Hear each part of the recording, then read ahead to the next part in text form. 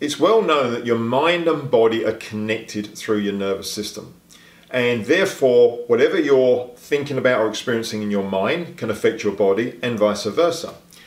One of the best ways to help regulate that and to get that connection working for you is through your breathing.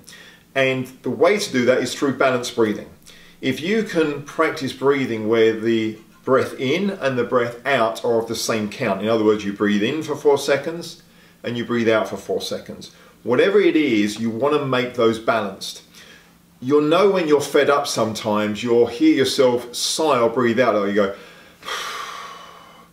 Basically, in that situation, you've breathed in for a short period and breathed out for a long period. That breathing is affecting how you're thinking.